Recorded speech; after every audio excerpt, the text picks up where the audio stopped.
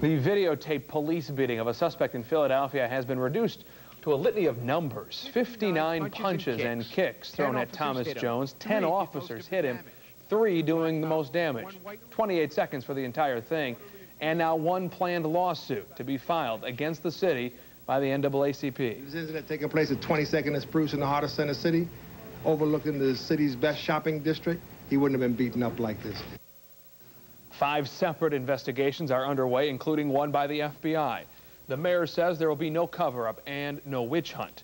Jones is accused of carjacking and shooting a Philadelphia police officer. The department also says he was involved in at least three robberies in the 30 hours leading up to the car chase that ended with the beating. The judge in the Branch Davidian's wrongful death lawsuit says he may render a final verdict as early as next month. A jury in Waco, Texas found the government is not to blame for the deaths of 80 Davidians at their compound seven years ago. Federal Judge Walter Smith will now take the jury's findings under advisement. He'll also consider whether federal agents shot at the Davidians at the end of the siege. The jury found the government did not use excessive force and was not negligent by driving tanks onto the compound in the final days of the 51-day standoff. Word tonight that the Reverend Billy Graham has Parkinson's disease. Graham's son Franklin told the Senate hearing that his father had a disorder caused by blockage of fluid in the brain, but doctors at Mayo Clinic say the 81-year-old minister suffers from both problems. They did recently remove fluid buildup. A spokesman for Franklin, Graham, says that he misspoke about his father's condition without first consulting doctors. Where can you find the best hospitals in the country? There's one in Grand Rapids, according to the U.S. News & World Report annual hospital ranking. Spectrum Health in Grand Rapids is ranked in the top 50 in four major health specialties. And Butterworth Hospital, now a part of Spectrum Health, is ranked 49th in treating kidney disorders. But experts say these national rankings are just a piece of the pie when it comes to choosing the perfect hospital for you.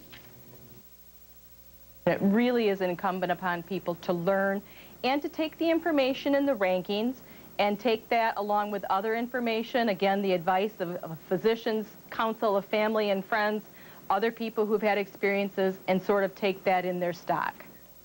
You can find plenty of help choosing a hospital or doctor online. We've linked a few sites to our website to help you out. Just click on wwmt.com. They were able to operate under their own power, but there was significant damage when two naval ships collided. It happened about 180 miles west of Hawaii last night. Both the USS Denver and the Yukon sustained significant damage. The Denver was scheduled to arrive in Denver late tonight, the Yukon later this weekend. The ships were conducting replenishment operations when they collided.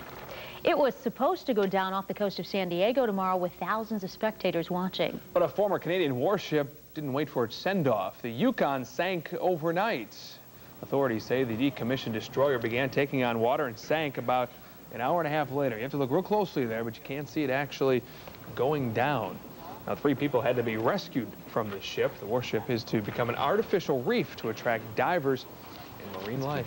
A dark video there, but it happened, but not quite the way they wanted it to. I guess not. No.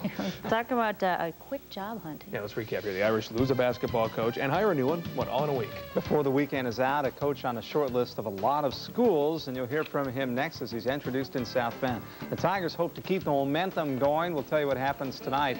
And staying solidly in front at the Tour de France is Lance Armstrong.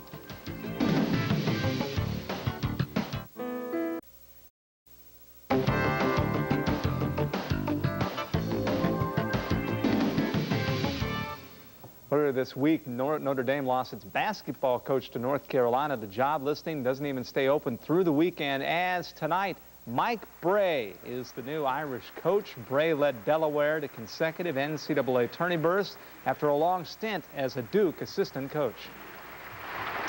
I've only been to South Bend twice before today. Uh, road games when I was with Duke University.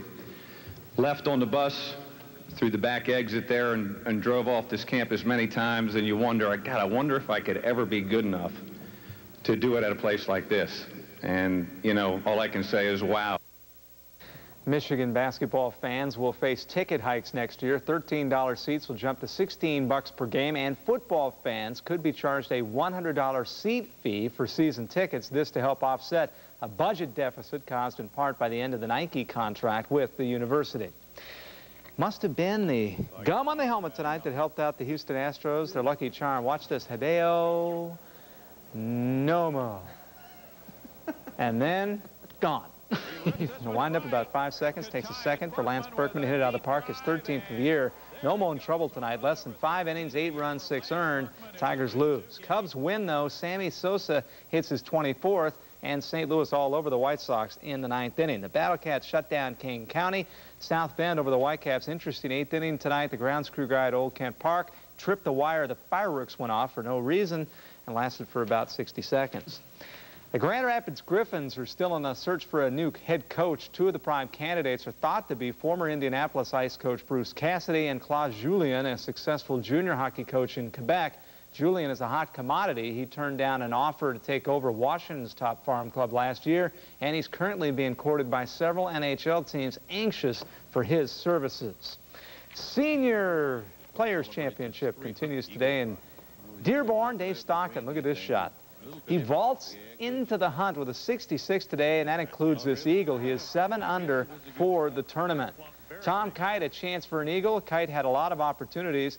He would have to tap in for a birdie, and Kite is at 10 under par, along with Hugh Baiocchi. Hale Irwin is a couple strokes back, as is Dana Quigley. That was a quick eagle putt there. Some notables, Tom Watson, Bruce Fleisher was 7 under starting the day, lost six strokes today. Jack Nicklaus is 3 over. And a little gratuitous blimp shot for you. Tonight in Milwaukee, Loren Roberts, the nice birdie putt. That uh, is good enough for him to share the lead with Frank Lickliter at 11 under par heading into the weekend.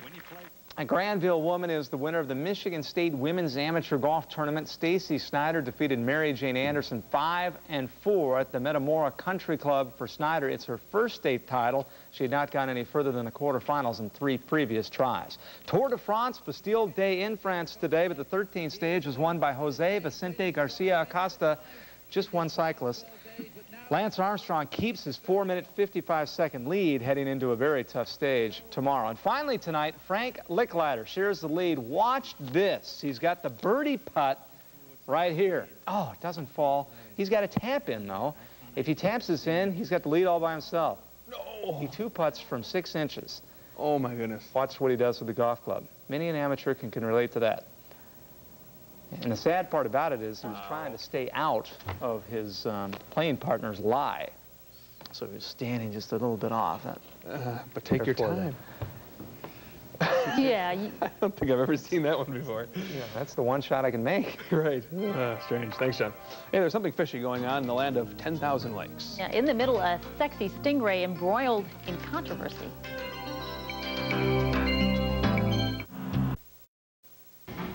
Has struck the Underwater Adventures exhibit in Bloomington, Minnesota. Yeah, the center of this shocking controversy, a stingray stud. The kids visiting the aquarium love it. A new batch of little baby stingrays to watch and pet. But who's behind this population explosion of stingrays? Apparently a Ray, known only as Little Boy. He's been separated from his nine girlfriends after officials discovered seven new stingray babies in just 12 days. Now Little Boy's been banished to a holding tank for the rest of the year so they can get a hold on the population explosion. That's what happens, you know, when you have nine girlfriends, you are banished, and that's all right. Is that right? You like should be. Stingray doghouse for a while, huh? you know. okay. Okay going to be a nice weekend in West Michigan. We have sunshine, just a couple of clouds here and there. In fact, just a couple of clouds overnight tonight. Temperatures tomorrow a little cooler. We're going to be in the upper 70s and then low 80s for Sunday. Our next chance for rain moves in Monday and Tuesday. Just a slight chance late in the day on Monday. And it's going to get a little more hot and a little more humid into the early part of next week. We've had, we've been lucky, you know. I mean, the, Good this timing. whole week, the weekends usually turn out okay. Mm -hmm. We haven't had that big stretch where it's been like in the 90s, you know, for yeah. a week straight here this summer either. We haven't. We've only had actually one day that's top 90 degrees so far this year. So. No real drought conditions or anything like no. that, so it's been great. Can't complain. All right, thanks, Amy. Thanks for watching. Have a good weekend. We'll see you again on Monday.